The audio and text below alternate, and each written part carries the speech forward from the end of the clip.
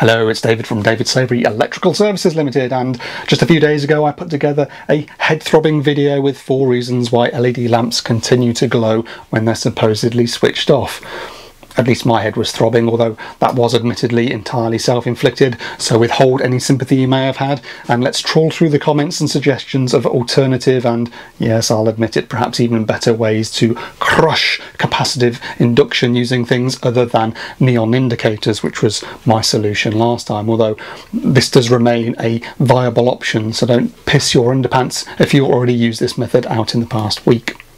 To very quickly recap, my LED lamp here is all aglow when it's supposed to be off, simply because the voltage on a neighbouring energised circuit serving just this socket outlet has created an electric field which is allowing a small current to pass and this is down to the way the wiring of the two circuits has been run inside this fat plastic box here. This can be a common fault on switch drops on older installations which tend to contain no neutral and sometimes even no circuit protective conductor to suppress the electric field surrounding the line conductor. If you haven't already seen my last video explaining all this, then what the ruddy hell are you doing viewing this one? Go tune into that and then come back to this one, otherwise the continuity will be all to cock. I showed in that last video that the voltage induced by the capacitance was quite variable depending on what meter was used to read it. My TIS clocked in 99 volts, my Klein around 70 volts, my Megger 3 volts and my Metrel 23 volts if memory serves right. There was a question about the highest result perhaps being the better i.e. more sensitive meter. Well my thanks to Steve from the SDG Electronics channel who was the first to point out that digital multimeters have a high impedance to allow for electronics work while an MFT will have a low impedance to squash stray voltages such as this. And a good thing too, for as an electrical installer, I might shit my trousers if I connect up my MFT and read a hundred volts or so on the line. It would have me questioning the effectiveness of my isolation and scratching my thatch as I attempted to interpret what was happening. I'd have to poke the wire into Nigel's buttocks to see if he jumped up in the air or not in order to know whether it's just a ghost voltage or if it's actually got any proper wallop behind it. Alternatively, the 3 volt or even the 23 volt readings I saw on my Megger or Metrel respectively would just see me royally waving a dismissive hand and cracking on with the job of course. Interestingly, monkey! Pointed out that my TIS E217, which I used to read the 99 volts across my lamp last time, has itself got a dual impedance input. Now, uh, that's very interesting. That we'll have a closer look at that. This is a new instrument to me, and I've got no manual for it. I've barely had time to look at the feature set yet, and I just put it out of the case for the last video. We can see our lights glowing there, so let's switch that back to volts as we had last week, and we'll turn on the rather nice backlit display. And if I put it across line and neutral here, and like last week, we can see that the uh, the light is shorted out, it doesn't illuminate anymore, and we're reading 100 volts uh, still across there. About the same as it was, I think we had 99 last week. I'm quite surprised at that actually. I thought it might have been a little bit better because the wires have all been shoved back into the plastic box now. They're not quite as separated out as they were, although the two circuits are still running alongside each other. But, uh, oh, there we go. Yeah, so we're on about, we're on about 100 volts, aren't we? Across line and neutral for our nuisance glow. However, if I switch it to the low impedance input, which I hadn't even spotted was there, and once again put this the display on, we can see that it now only reads 7.9 volts. So being able to switch between the two is a rather handy feature, depending on whether you want to be measuring these sort of road voltages or to discount them. Clever stuff. In the previous video I showed a neon indicator such as this which is easily obtained and can be used to uh, mop up the stray current that would otherwise be causing the LED lamp to nuisance glow. The neon itself uh, it soaks up the, uh, the capacitive current there and glows dimly and when the power is applied to the light it glows brighter but it's easier to conceal this thing and it does the job of mopping up that stray current. Again, Steve at SDG Electronics was quick to mention the use of a capacitor instead, and he named the Danlers Capload as an albeit marked up product packaged for ham-fisted installers. Well, that sounds ideal for myself and Nigel, but at the best part of a fiver, it does seem a little bit steep for what is effectively just a capacitor with insulated legs. But at least you can get them at CEF, uh, albeit probably via a web order rather than over the counter, and it comes ready to fit with no pissing around. Sticking with capacitors, there were several mentions of such as a solution, but besides Steve pointing to an actual product, my thanks go to YouTubers Crazy Sparky63 and DD313Car, who listed suitable values as did Graham Langley. You can't just stick any old capacitor onto here, and they all mention the X2 cap of about 0.1 microfarad, and Graham notes how such can be foraged from switch mode power supplies if you want to be a scrounger about it. Graham also raised the concern that a failing neon can be messy. Neons do get darker over time, which is down to the metal from the electrodes becoming deposited on the glass. This is something I can kind of demonstrate. I have two neons here bought from Maplin at the same time in the early 1990s. The one at the bottom of the screen was used on a project that saw it constantly illuminated for more than 10 years. The other has seen comparatively little use. It's a bit tricky to pick up on camera, but hopefully you can tell that the one at the bottom of the screen, which has seen the higher use is of a lesser brightness than the one above it. Eventually metal from the electrodes can bombard the inside of the glass bulb quite badly causing it to blacken over time. Graham says that in a worst case these metal deposits can short and cause the series resistor fitted within the assembly to overheat with potentially scary results. Personally, I've never seen it happen, and these things are often employed as continuous power indicators for appliances switched on 24 7. Before LEDs, neons were commonplace on equipment such as fridges and freezers where a visual indication was needed over a period of years, and where a small incandescent lamp would require more power and last a fraction of the time. You still find neons now on things like electric showers and in accessories such as cooker and shower isolators. These are things that you're used to leaving on day and night for years with no thought towards ill effects because we trust them to last and they generally do. Remember too that the neon itself will only be at full brightness when the light is itself switched on. So uh, most of the time it's not even going to be at full brightness so it's not running at full capacity 24-7 in this sort of situation. Personally I have no qualms about using a neon in this application as they're cheap, easy to obtain, can be bought pre-wired for ease of installation and will likely last the lifetime of the LED lamp you're connecting it across to stop a nuisance glow. That said, a capacitor may be a better solution as we shall see. And look, I happen to have an X2 capacitor right here. It was amongst various others already rattling around in my component drawers. This one is rated at 275 volts AC and 0.047 microfarad and it has insulated leads, so is bob on for the job. Let's try it. Let's put this in circuit then we can see we've got our nuisance glow on our lamp. I did that last week as well. Right, we're going to stick that between there and there and already I can see the lamp has extinguished as I push that wire into place. So there we go, our capacitor is fitted, uh, our nuisance glow is gone. Let's see what happens when we turn the light on. Marvellous well, no ill effects there, as you would expect.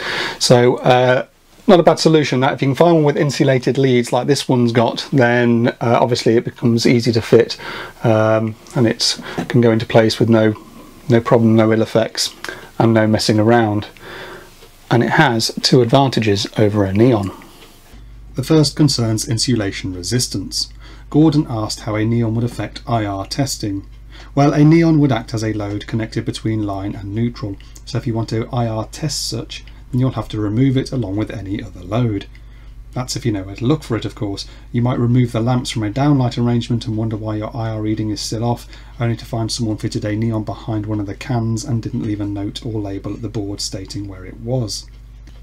To see how a neon affects IR, let's connect my Metrel MI3100S and perform an IR test at 500 volts we can see the test current is enough to drive the thing, resulting in it lighting up and dragging our test reading down. Had we installed a capacitor instead, then the test passes with flying colours without the need to remove it from circuit. And that's because, as I said in the last video, a capacitor is a dead end to DC. A cap such as this should be able to take the DC your IR tester puts out.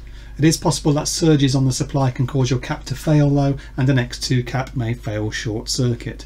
I believe you can use a Y2 capacitor instead, which is designed to fail open circuit. I'll leave the electronics boffins to comment on that. Line to neutral IR testing is a bit of a funny one, and on EICRs, I often have it down as a limitation of lighting and socket circuits, simply because it can either be difficult to track down all loads for an installation I'm unfamiliar with, or it's just too impractical to remove them. Take a 12 volt downlight arrangement where behind every light fitting is a transformer connected between line and neutral, which needs to be wired out for full IR testing. Removing each would be a ball pain, so we IR with the switches off or limit line neutral IR testing altogether. And after all, it's really the insulation resistance between line neutral to earth that I'm interested in, as that's where poor readings start giving the RCD the friggin' arsehole. Initial verification is a different beast, of course, but then if I'm verifying a circuit I've installed, I should jolly well know where all the load connections are. The second advantage of using a capacitor over a neon is that there is no waste light. In terms of running costs, a glowing neon isn't going to trouble your electricity meter, but you are using the neon to mask the nuisance glow of the LED light, and in doing so you're creating another nuisance glow, albeit one that can more easily be hidden. But not making waste light in the first place is doubtless a better idea and saves Greta Thunberg some unnecessary loss of sleep over the wasted microamps. So for that reason, and for the IR thing, I'd say use an X2 capacitor rated above your territorial voltage in the first instance. Another option was suggested by Mr. Double Drive, the Busch & Jaeger 6596 compensator, which rather impressively sounds like something out of Terminator 2, although it's a little eye-watering on the price. I don't know what's inside the package, but if it's a choice between buying this or using a cheap neon or capacitor and blowing the difference on guest ales and pork scratchings down at the Dog and Hammer, well, let's just say I know whose urinal I'll be taking a dark yellow thick piss into. By coincidence, when back at work this first depressing week of January, I picked up a copy of Professional Electrician magazine from the counter at CEF. Crikey, there's a rogues gallery. You wouldn't want to bump into this E5 crowd down a dark alley. This wild bunch look like they'd nick your dinner money and give you quite the robust wedgie in short order. I hope they're not put out by my image editing antics. They know I love them really, so uh, do check out their channels, all linked to in the description.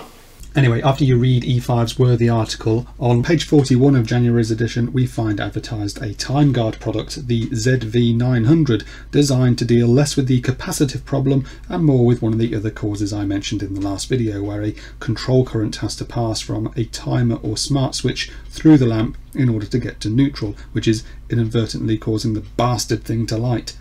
The price is a little hairy and I've no experience of the ZV900 myself, but if your nuisance glow is down to smart switches, then this thing may be worth a peek. Going back to capacitive nuisance glow, both Steve Perry and Capo Steve mention the use of resistors. I don't know, maybe it's a Steve thing.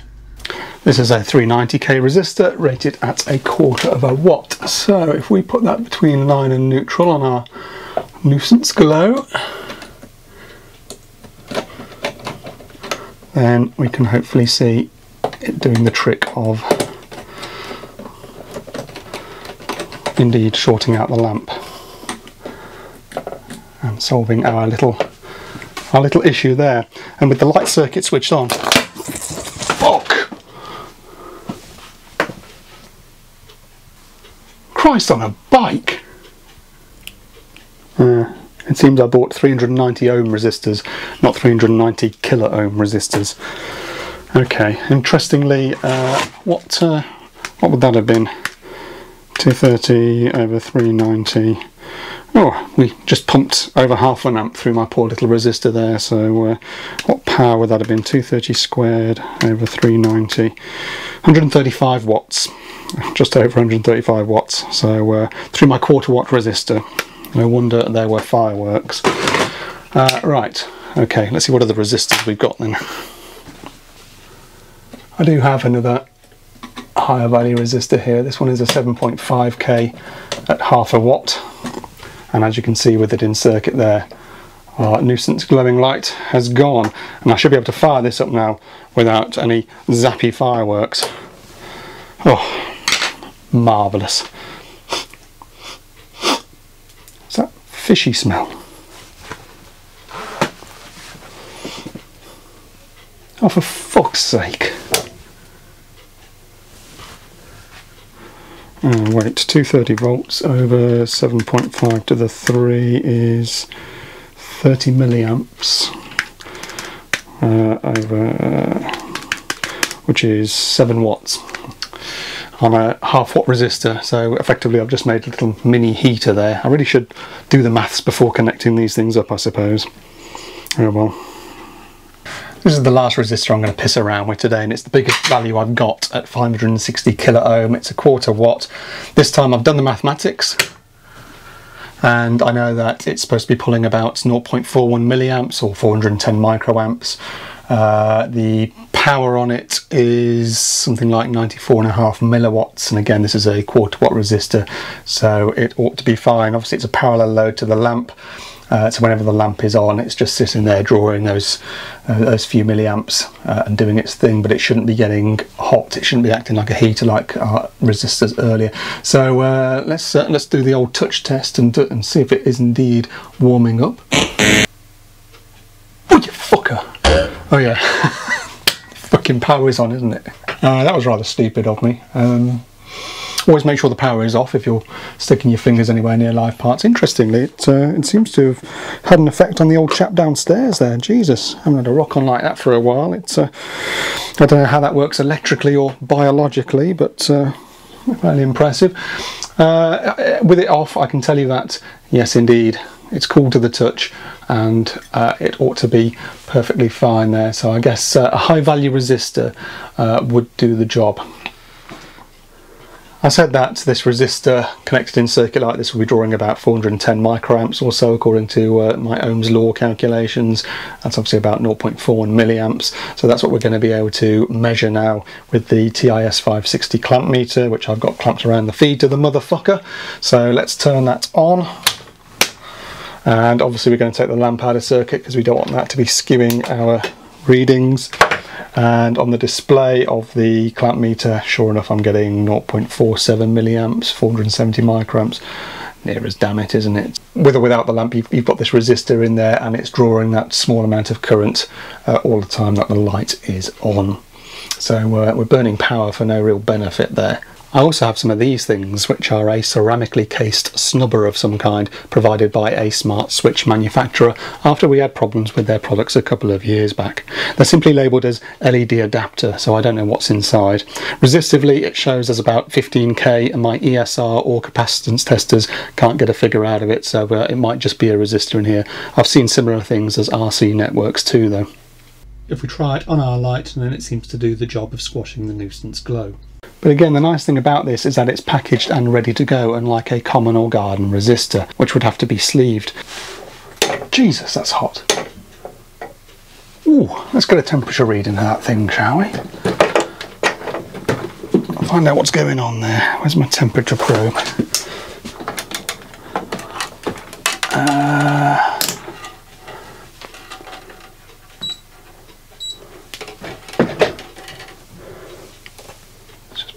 that that ceramic case.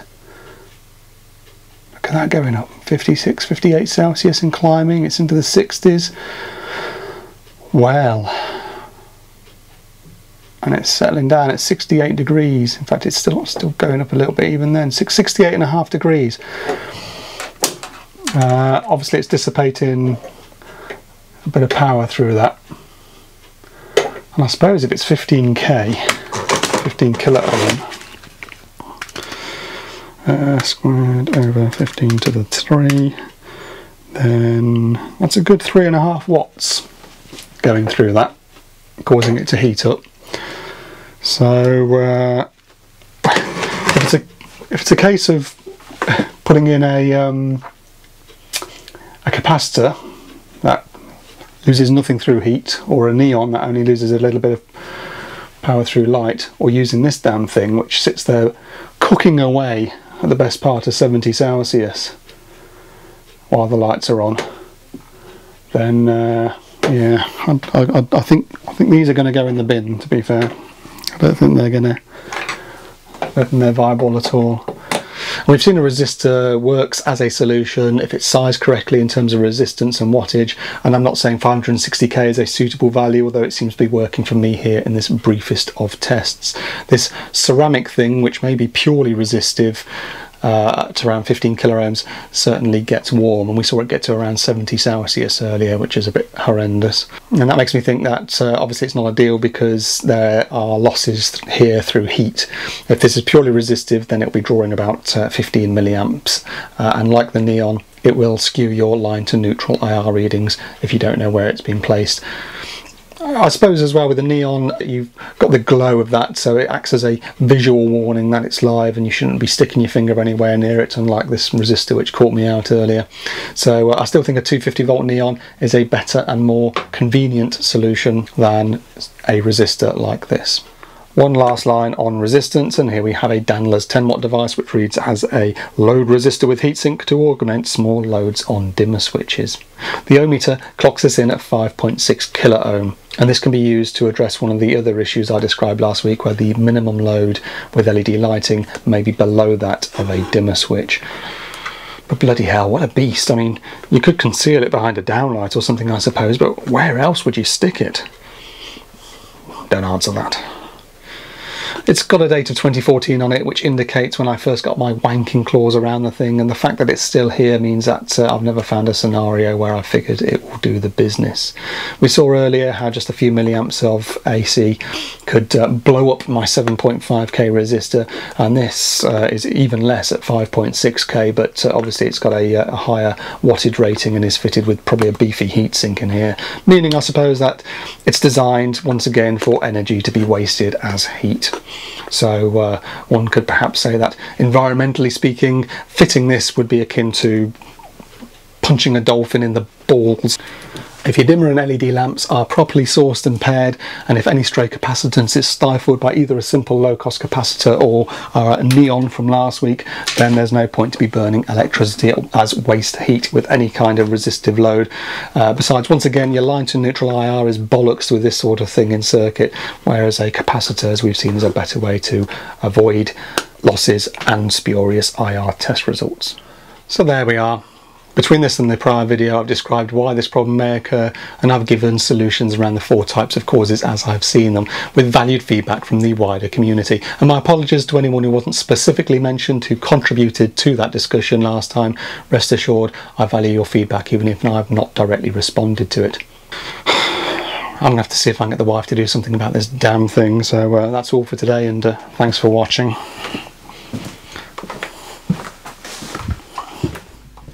I say, darling, I don't suppose there's any chance of an old fashioned. Get that dribbling thing out of my ear, or I'll use my bonk on spoon to knock it out. Mm. Yes, dear.